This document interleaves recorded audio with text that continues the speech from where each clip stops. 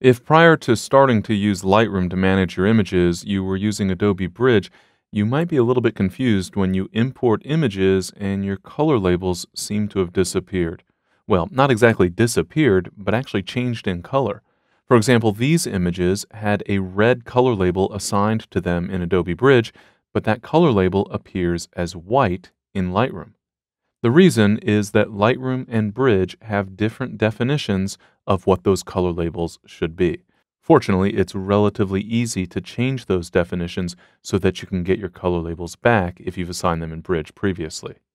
The trick is to go to the Metadata menu and then choose Color Label Set. You'll notice that there are presets for Bridge Default and Lightroom Default. I'm going to click Edit to bring up the dialog where we can change the definition of these color labels. In Lightroom, by default, the red color label has the word red assigned to it, yellow has yellow, etc. Pretty straightforward. The problem is, Bridge used a different structure. If we switch to the Bridge preset, you'll see that red was select, yellow was second, green is approved, etc. Those words are what actually get stored in metadata for your images. So in Bridge, the red color label just meant the word select was embedded in metadata. Lightroom didn't understand what select meant in the context of a color label, so it showed a white color label, just indicating that there had been some label assigned, it wasn't sure which color. As you can see though, by switching to Bridge Default, those red color labels are red once again.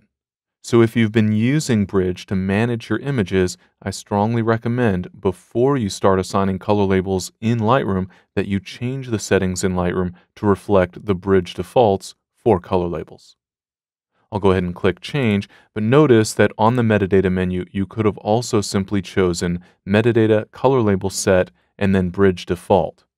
With the Lightroom default, you'll see the color labels disappear, but with Bridge Default, I get my color labels back. This obviously can be a little bit alarming if you just imported images that you had previously worked on in Bridge, but as you've seen, it's fairly easy to solve this issue.